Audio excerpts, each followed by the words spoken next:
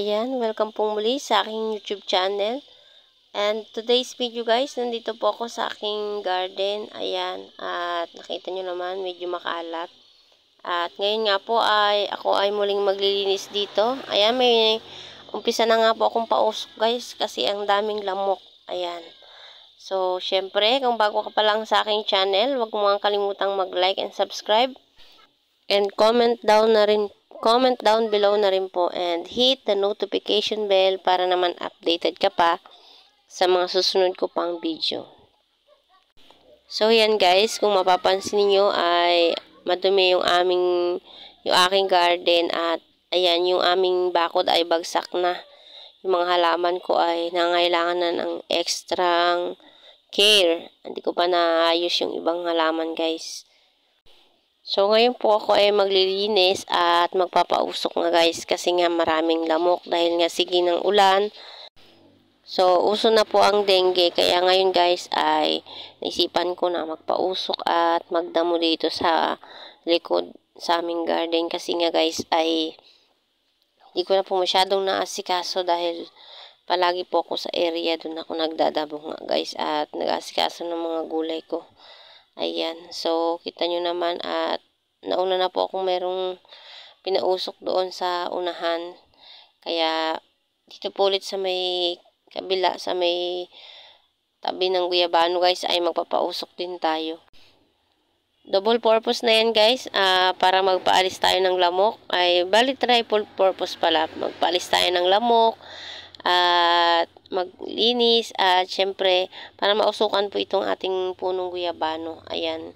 Punong guyabano yan guys at ang dami niyang bunga so kailangan siyang mapausukan para uh, gumanda yung kanyang mga bunga, madagdagan pa at saka yung iba kasi guys may langgam yung ibang bunga niya guys. Ayan. So ngayon lang ako nakaintindi dito sa aming garden na naman kasi nga ay sobrang bisibisihan nga yung lola nyo. Ayan. Kita nyo naman guys, yung aming mga bakod ay bagsak na. Hindi pa ako nakakuha ng buho na pang ano, pang palit dyan. Ayan, kita nyo, ginawa ko ng ano yan, pang paringas yung mga buho guys. Wala rin may pambili guys eh. Kaya ayan, tsaga-tsaga muna siya na nakaganyan. So, time will come na mapalitan din yung bakod na yan guys. Tiis lang. Ayan.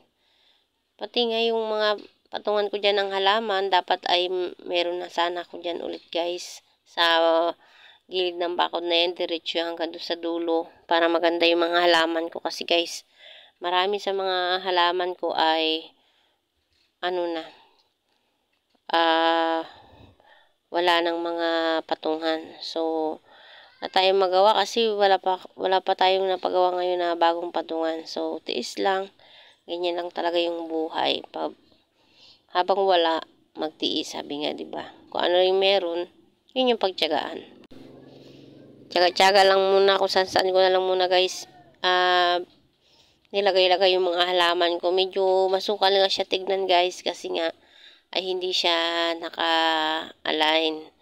So, kailangan ko pa siyang lagyan talaga ng patungan para maganda siya tignan, naka-align siya nakalinya siya ng ayos.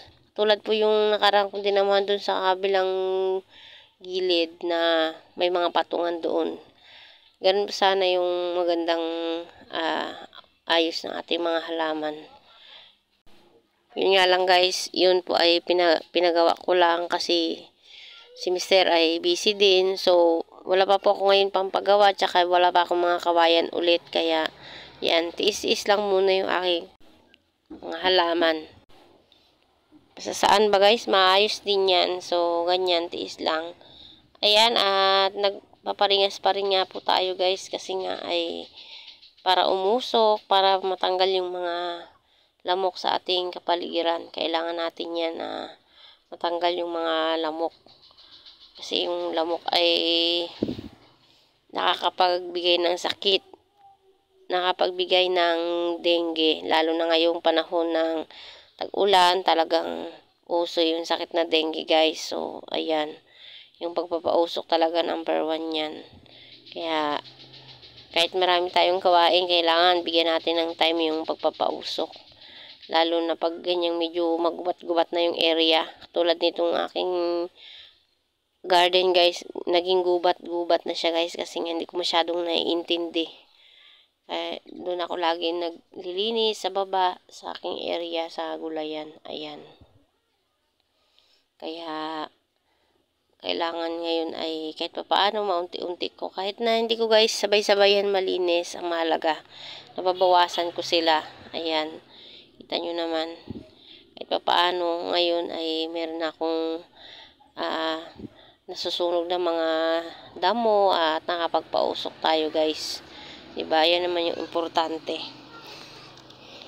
Sa mga bakante nating oras, tayo ay gumawa ng ating mga dapat gawin. Tandaan nyo guys, uh, napakahalaga po ngayon ng fogging or pagpapausok kasi nga ay tag-ulan.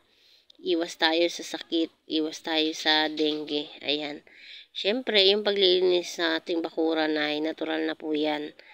At yun nga lang minsan talagang dumarating yung time na nabibisi tayo.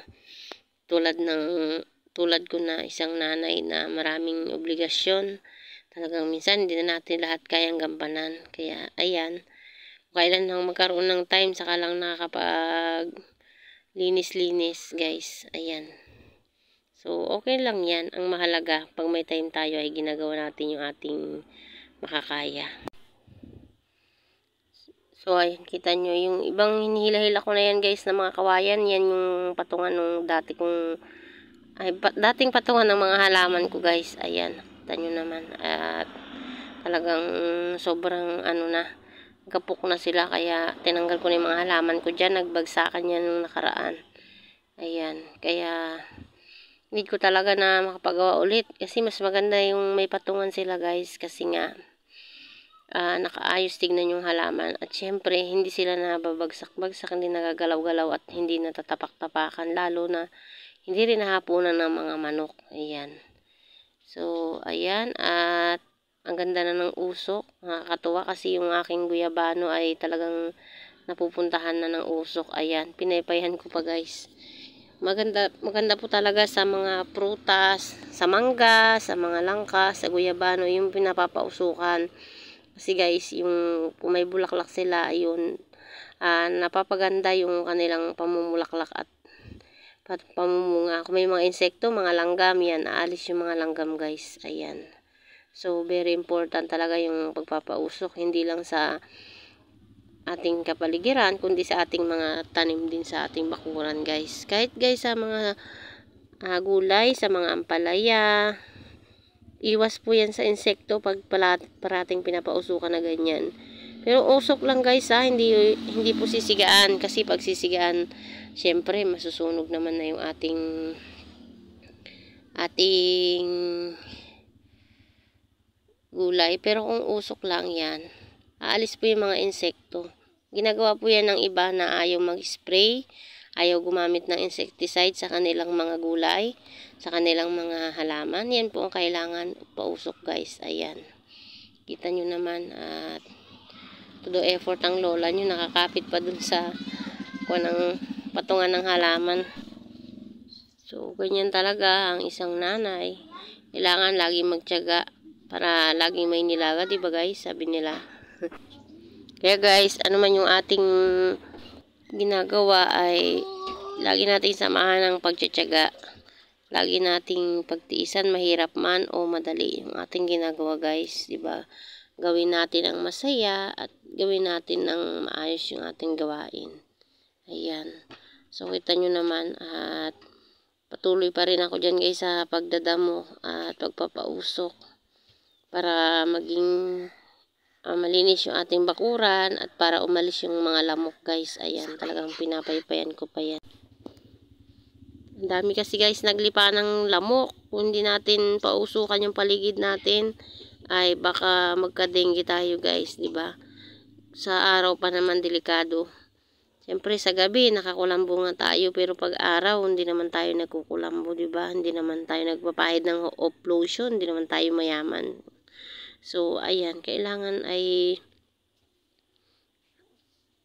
linisin natin yung ating kapaligiran. gawin nating uh, kaaya-aya. Ayan, kita nyo naman. Kahit hindi kaaya-aya yung bakod natin, sira na guys. So, ayan. At least mawala man lang yung mga usok, ay mga usok, mga lamok guys. Kasi yung lamok nga ay magbibigay sa atin ng sakit na maari nating ikamatay, ba diba? So, syempre, kung advance tayo, naglilinis na tayo. So, hindi na mag-stay yung mga lamok sa ating bakuran. Baka lilipat na sa ibang lugar. Lilipat na sa kapitbahay. Joke. Siyempre, magiging hindi na sila makapagparami. Hindi na sila uh, kakapal ng kakapal na siyang patuloy na mga anggat sa'yo guys. ba diba? Tsaka yan, tignan nyo, sa pagpapausok ko na yan, ito yung aking guyabano.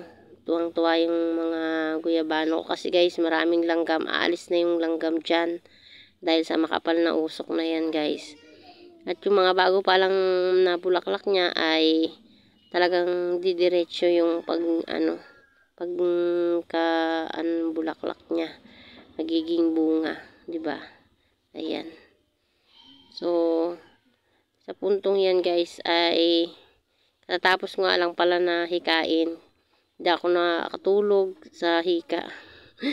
Tapos ang aking ang aking pagpapahinga guys, ayan, pagpapausok. Sa halip na mag-nebulizer ako guys, ang naging nebulizer ko yung usok.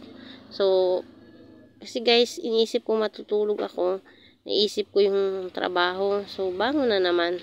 Talagang mahirap maging nanay guys, ano. Hihiga ka na lang, isipin mo pa yung trabaho. Ganyan talaga guys ang mindset ng mga nanay, ano. Yung pahinga na lang nila ay hindi pa nila ipapahinga. Itatrabaho pa rin, 'di ba? So ayan, uh, iniisip ko meron naman ng darating na gamot kaya ayan. Tumayo na ako at naglinis na nga ng bakuran kasi pag may gamot na ako, hindi naman na ako susumpungin ng allergy ko, hindi na ako hihikain guys. Kaya nga pala yung nakapahika sa akin, hindi ako makahinga yung mga usok, usok ng mga siga, usok ng sasakyan, usok ng sigarilyo, yan yung nakakapag-allergy po sa akin.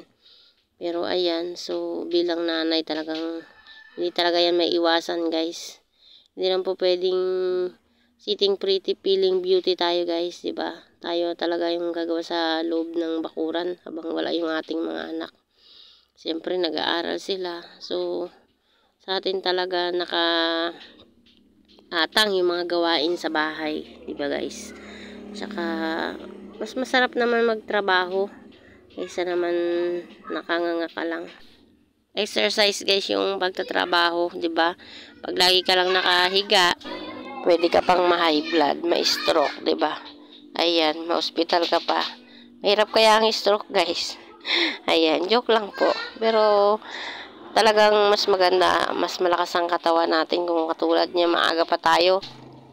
Aga pa lang, kumikilos na tayo. Uh, at syempre, exercise, na exercise na pinagpapawisan na tayo guys. Mas malakas yung ating katawan pag ganyan po tayo sa araw-araw, ba diba? Ayan. So, ayan, kaya kahit na nga ako ay hinika, imbis na magpahinga, ay ayan, naglilinis ng bakuran napakaganda namang pagmasda na makita mo na, na uh, babawasan yung mga gawain mo sa araw-araw. Ayan guys, yan po yung sinasabi kong guyabano. Kita niyo yung mga itim-itim na yan guys, yung mga naipon na mga langgam na itim. Yan po yung nakakasira sa kanila. Kaya gusto ko silang pausukan. Ayan, marami po yung bunga niyan guys hanggang sa taas. Ayan. Na kung hindi ko lang po ma-close up masyado kaya Ayan, hindi nyo masyadong mapapansin, ba? So, maraming purpose yung ating pagpapausok. Igiging malinis yung ating paligid, bubunga yung ating mga puno ng maayos. Siyempre, mawawala po yung ating mga lamok na mga gat sa atin na maaring mag-cause ng sakit ng uh, dengue sa atin guys. Ayan. At maraming namamatay talaga sa dengue. So, wag natin pong baliwalain ang lamok sa ating kapaligiran guys. Ayan. Ayan, syempre. Ayan, hinila ko pa yung bunga ng ano.